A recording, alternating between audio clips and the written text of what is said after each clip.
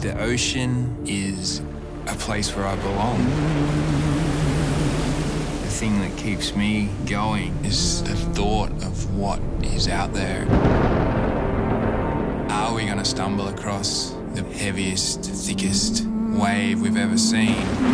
And am I going to be able to ride it? Oh no. Holy shit. That comes at a heavy cost.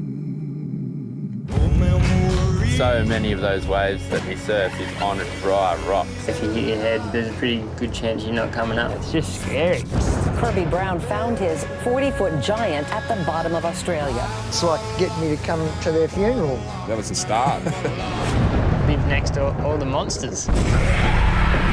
These waves are so unpredictable. You could do everything right and it doesn't matter. There's just no no way out.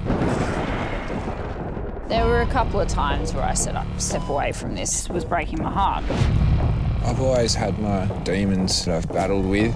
Like a determination to self-destruct. I feel like we're all just forced to be part of this machine from an early age, and that's what I've always struggled with. I feel like that's the monster. Definitely in a league of his own. Why do we do this again?